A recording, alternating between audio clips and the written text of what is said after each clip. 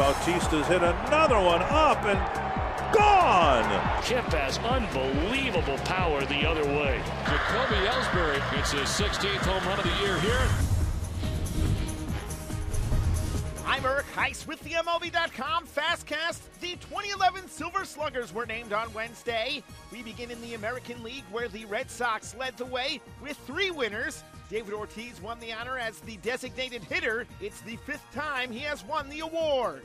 Big Papi was joined by first baseman Adrian Gonzalez and outfielder Jacoby Ellsbury, who earned their first Silver Slugger awards. The Sox rival Yankees had two winners, as second baseman Robinson Cano earned his third slugger honor, while outfielder Curtis Granderson picked up his first. Rangers third baseman Adrian Beltre earned his third silver slugger, and Blue Jays outfielder Jose Bautista was awarded his second straight. The rest of the American League winners were both first timers in Tigers catcher Alex Avila and Indian shortstop Asdrubal Cabrera. Over in the senior circuit, Braves catcher Brian McCann led the way, earning his fifth Silver Slugger award. The Brewers had two winners in outfielder Ryan Braun, who earned his fourth, and first baseman Prince Fielder, who earned his second.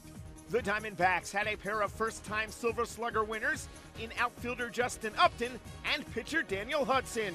Dodgers outfielder Matt Kemp and Rockies shortstop Troy Tulowitzki picked up their second Silver Slugger awards, while Reds second baseman Brandon Phillips and Cubs third baseman Aramis Ramirez each took home their first Silver Slugger honors.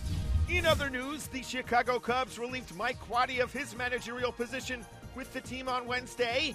Quade, who took over for Lou Piniella on an interim basis in 2010, just completed his first full season with the Cubs, finishing with a 71 and 91 record.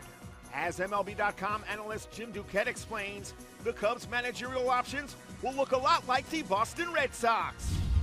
I think you're going to see the same names uh, apply for the Cubs job. That's Dale Sveum, former batting coach. He was a third base coach with the Red Sox. You're going to see Mike Maddux's name out there. Who you haven't seen a lot of that, but Maddux is a guy maybe in the mold of a John Farrell when John Farrell was the pitching coach for Boston, went on to be a manager in Toronto. Pete Mackanin is another name that you're going to hear and have started to hear when you look at him as the bench coach there in Philadelphia. He's been a big part of their run there. So those are at least three names that you're going to hear. I'm sure there'll be some others, but those are, I think, the front runners to get interviews in Chicago, and you're starting to hear them already in Boston. For more on these stories and for complete free agent coverage, stay locked to MLB.com. It's baseball everywhere.